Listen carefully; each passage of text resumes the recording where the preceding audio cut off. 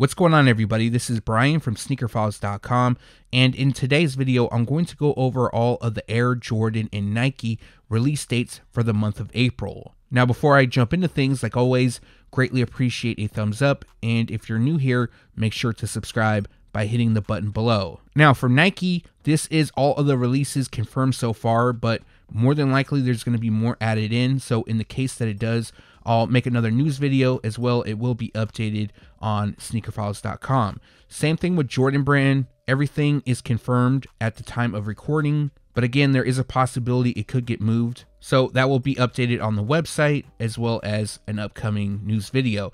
Also, there is two links in the description below which will take you to our Air Jordan release dates page as well as our Nike release dates page, which will be updated there as well. Now, with that out of the way, let's get into it.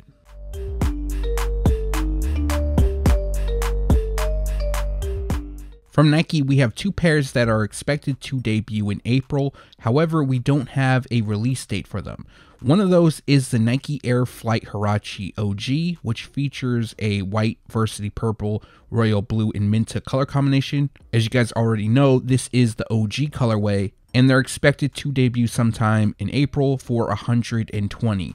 Now, the next pair is the Nike SB Dunk Low Midnight Navy and from what I'm hearing is that retailers in Canada and other locations outside of the US are starting to get pairs right now. So it looks like a release will take place in April. Also, the retail price on this pair is 110. On April 1st, we'll have two LeBron releases. The first is the Nike LeBron Next Gen in white. Now, Finish Line did release them early, but I believe they pulled them because they now have them listed to debut on April 1st, as well as other retailers, and the retail price will be 160.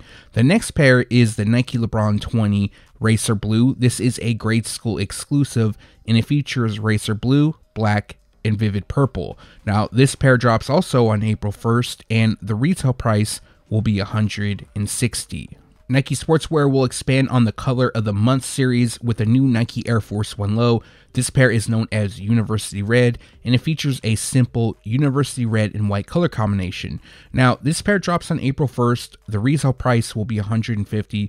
I've seen them on the sneakers app, so you can get them there, as well as many other retailers. CDG and Nike will also come together to release a small pack on the Nike Terminator High. So a total of three colorways will release, which features white navy, white and red, and white and black. Each pair has OG vibes. They'll also feature CDG and Nike branding on the left and right heels, respectively. So for those that want to purchase, they will be available at Dover Street Market and CDG locations on April 1st. The retail price is 235 each. April 4th, we have another Nike Dunk Mid set to release. This pair is known as Coconut Milk and it features a coconut milk, vivid orange, celestial gold, plum eclipse, sail, and night maroon color combination.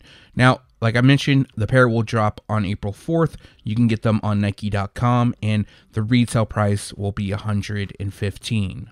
In April, Nike Sportswear will release an Atlanta pack, which will consist of the Nike Dunk Low and the Nike Air Force One Low. Now, in my opinion, both are clean. However, more than likely, people are going to flock to the Dunk Low over the Air Force One. The two feature the same colorway as well as the same blocking in University Red and Bright Crimson.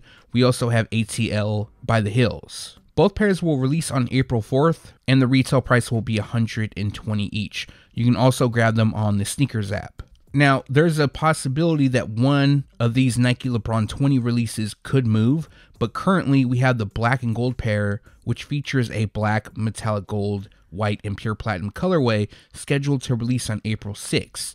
Now, on that same day, we have the uninterrupted Nike LeBron 20 Speak Your Truth, which features a black, coconut milk, and hyper royal color combination. Now, like I mentioned, both will debut on April 6th. I am seeing that the grade school sizing for the LeBron 20 in black and gold are popping up on release calendars. And for the uninterrupted pair, I'm also seeing that just the shoe in adult sizing is popping up on release calendars. So, like I mentioned, there is a possibility that one pair could move, but for now, April 6th is the release date for the two, and the retail price will be 200 each. April will also have a lot of dunks releasing. The first one I'm going to talk about is the Nike Dunk Low Pink Foam.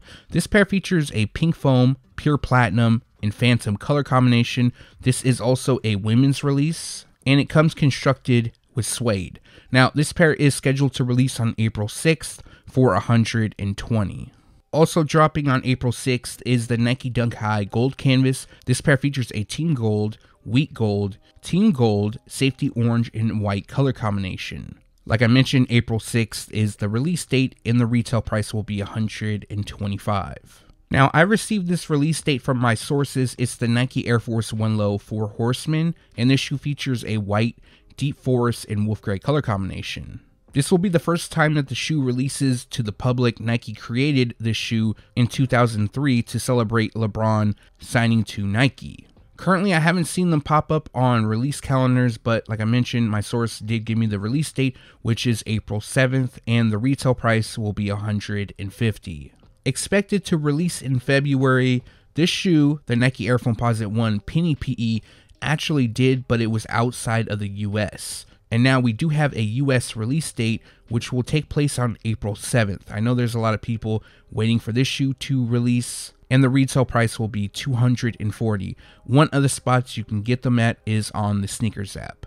I know there's a total dunk craze going on. It's actually been going on for a few years now, but are people actually feeling the Nike Dunk Mid? Personally, I like the SBs. They're a lot more comfortable in my opinion, but for those that do like the model, we got another pair dropping in April, which will come in the Panda color combination. So we have white, black, and sail used throughout, and they will drop on April 11th for 115. After releasing overseas, the Nike Dunk Low Setsubun will finally debut in the States. So, just a little update Setsubun, also known as the Bean Throwing Festival, is the day before the beginning of spring in the old calendar in Japan.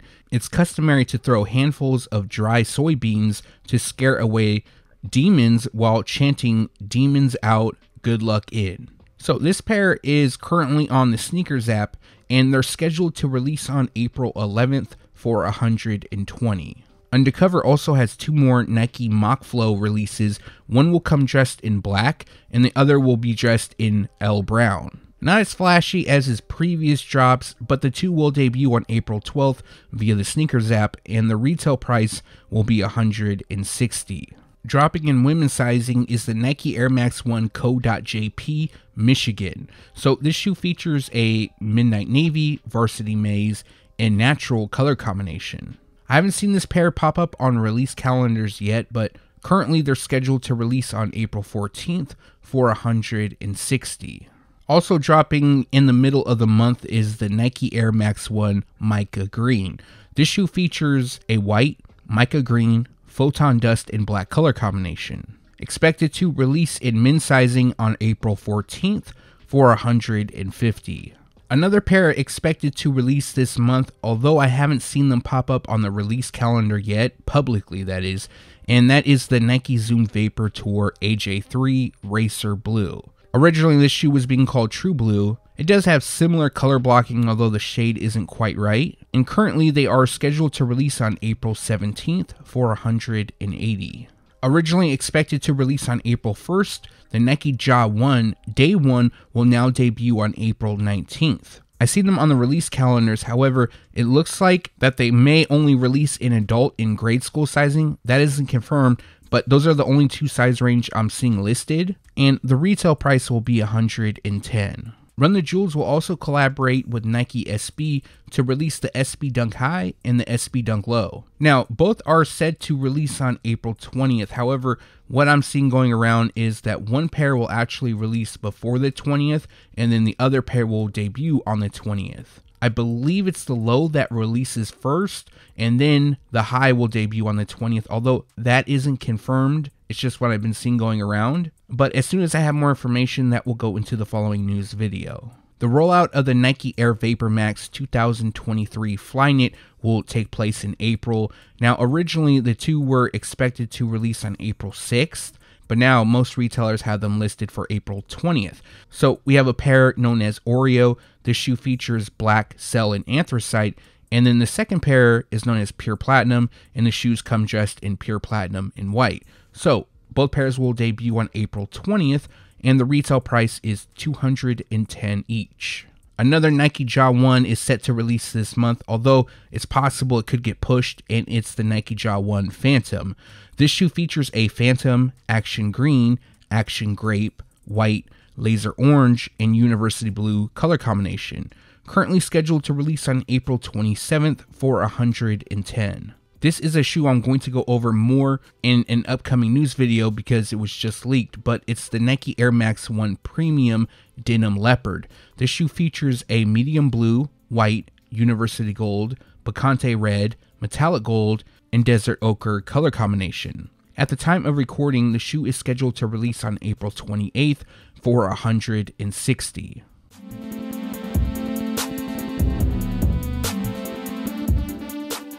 From Jordan Brand, the first release of the month is the Air Jordan 11 Low White Cement. Now, this pair features a white university blue and cement gray colorway and will debut on April 1st for 190 in adult sizing. They'll also drop in grade school sizing for 150, preschool will cost 80, and toddler sizing will retail at 70. In my opinion, I would hold off on these if you like them. This and a lot of others I believe will go on sale. We recently got a first look at the Air Jordan 5 Low GS Desert Berry. Now, this pair is also known as Fundamental. Again, I'm not sure why they're nicknamed Fundamental, but that is what the brand is calling them behind the scenes at least. And they feature a white coral chalk desert berry and black color combination. So this pair drops on April 4th. The retail price is 125 in grade school, 80 in preschool, and 60 in toddler sizing. For those who play golf, the Air Jordan 6 Low Golf Bordeaux will also debut in April. This pair is said to be inspired by Michael Jordan's favorite beverage, and they feature a simple white and Bordeaux color combination. A few things that stick out is that they feature cherries on the lace locks and water texture on the ankle. This pair will be available on Nike.com for 220. Also, if I forgot to mention, they will drop on April 4th. Jayson Tatum's first signature shoe, the Jordan Tatum 1, will also debut in April. This will be the first colorway of his signature line to release, and it's known as Zoo. This pair comes dressed in a black, metallic gold, university red, and beach color combination.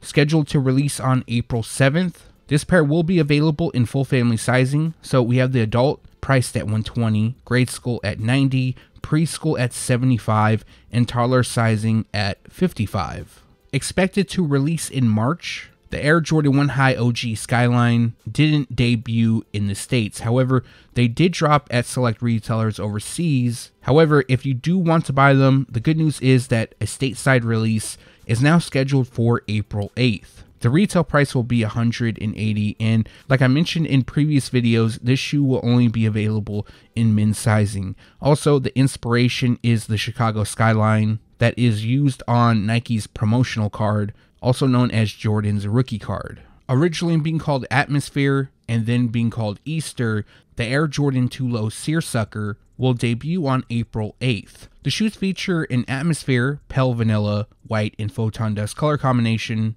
and this pair comes with seersucker textile across the upper. Like I mentioned, April 8th is the release date and the retail price will be 150. Now, this isn't confirmed, but it looks like these are only dropping in men's sizing. I know a lot of people are waiting for the Air Jordan 1 High OG Lucky Green to release and that will take place in the middle of April. The shoes take inspiration from the 2009 DMP pack. There's a few changes between the 2009 pair and the 2023. And for this year, it'll feature Nike Air on the tongue and won't have a Jumpman on the heel. They also come with two sets of laces and they are scheduled to release on April 15th. They will be available in full family sizing. We got adults priced at 180, grade school will cost 140, preschool will cost 85 and toddler sizing will retail at 70. We have another colorway of Jayson Tatum's first signature shoe releasing in the month of April and is known as the Jordan Tatum 1 Archer Ave. So, this shoe pays tribute to Archer Ave in St. Louis, Missouri, the place where Jason Tatum was born and raised. The pair comes dressed in white University Red, University Blue, and University Gold, and this pair will debut on April 15th. Also dropping in full family sizing, and the adult pairs will cost 120, grade school cost 90, preschool cost 75, and toddler sizing will retail at 55. In 2023, we have two washed variations releasing. One is known as Washed Black, aka Washed Heritage, but the first one to release is the Air Jordan 1 High OG Washed Pink. This shoe features an atmosphere, white, muslin, and sail color combination, and this will debut in women's sizing, which will retail at 180, but they'll also drop in preschool at 85 and toddler for a retail price of 70. This pair is scheduled to release on April 22nd. Another shoe that I'm seeing a lot of people waiting to release is the Air Jordan 13 Black Flint. Basically, what they did here is they took the color blocking from the Air Jordan 13 Flint, but instead of using a shade of blue, they're using black.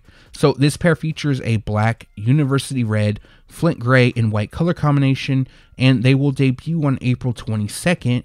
And like most anticipated, they will be available in full family sizing. So adults will cost 200, Grade school will retail at 140, preschool will cost 80, and toddler sizing will cost you 60. Probably the most hype release for the month of April is the Travis Scott Air Jordan 1 Low OG Olive. Now, just a heads up, this is a women's exclusive release, but they will be available in extended women's sizing. Also, it's being said that this will be the last Travis Scott Air Jordan 1 collaboration we're expecting a Travis Scott Air Jordan 7 collab to debut this year, although I haven't heard any additional details on those. And this pair features a sail university red, black, and medium olive color combination.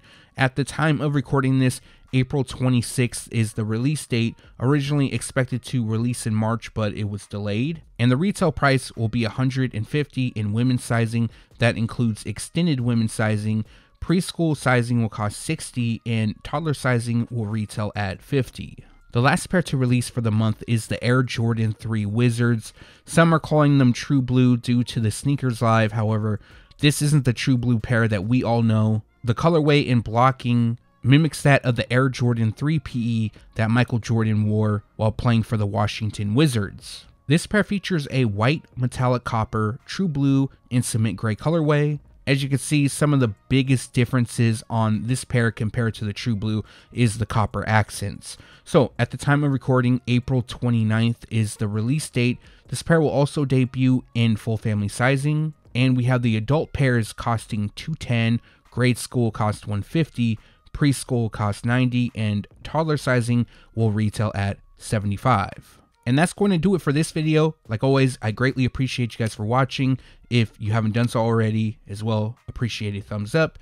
And if you're new here, make sure to subscribe by hitting the button below and turn on the notification bell so you can be alerted whenever I drop a new video. Now, like I mentioned early on, if a release date changes, there is a link in the description below which will take you to sneakerfiles.com either the Nike release dates page or our Air Jordan release dates page, and it'll be updated there as well. It'll be updated on the homepage, and I'll include it in a following news video. Now, there's a lot of stuff releasing from Nike. The only thing I'm really eyeing is the Penny PE Foamposite. From Jordan Brand, I really like the Air Jordan 3 Wizards PE as well as the Air Jordan 1 High OG Lucky Green. I'll probably try to get the Travis Scott Air Jordan 1 Low OG collab, but more than likely, I'm not going to hit on those. And that's probably it for me for the month of April. Let me know down in the comment section which pairs you plan on going after, as well if you have any questions, drop that down below.